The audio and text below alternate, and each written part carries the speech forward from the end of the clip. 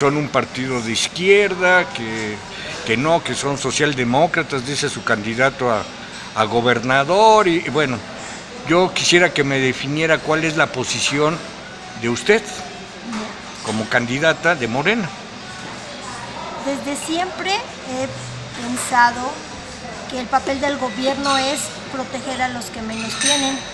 Y si en ese término se puede clasificar la izquierda, pues soy de izquierda porque si bien es cierto que el papel del gobierno es cuidar a la inversión y cuidar muchas cosas, tiene que tener un espacio más parejo y la gente que no tiene nada, no tiene nada, ni derecho a, pareciera que no tiene derecho a tener alimentos, a una casa con alcantarillado, a una vida con salud en donde haya este, clínicas o algo que lo tenga cerca.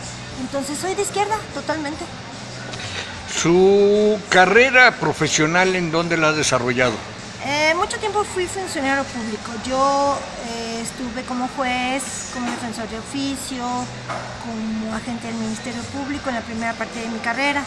Después me dediqué, eh, estuve mucho tiempo trabajando en la Comisión Nacional del Agua, así que ahora tengo una preocupación desde hace tiempo muy fuerte con el asunto de proteger el agua que sale en los pozos y el agua en cuanto a la contaminación. Tenemos cuatro plantas de tratamiento en el estado que no están funcionando y como esas hay que cuidar, pues hay que mejorar la calidad del agua. Entonces, en general, el agua es mi preocupación.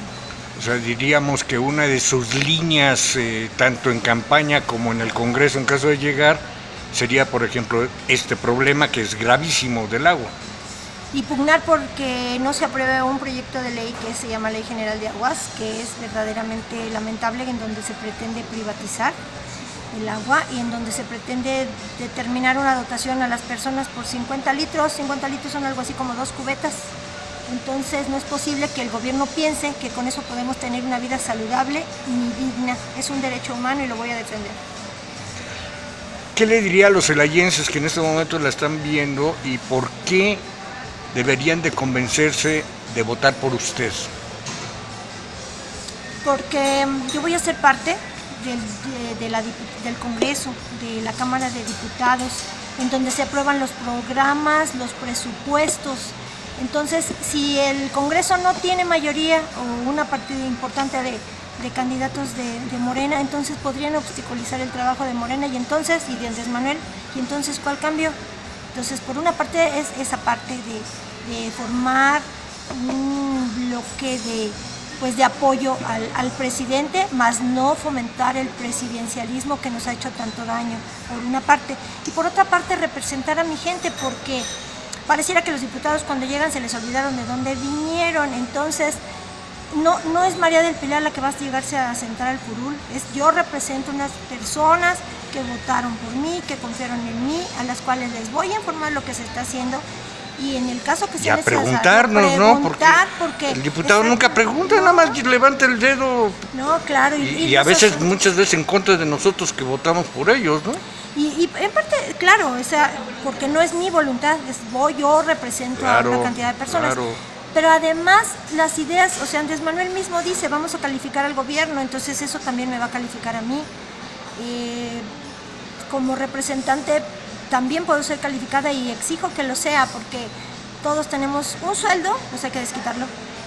Una última pregunta. Guanajuato, sin lugar a dudas, es un, una entidad marcada por el Partido Acción Nacional.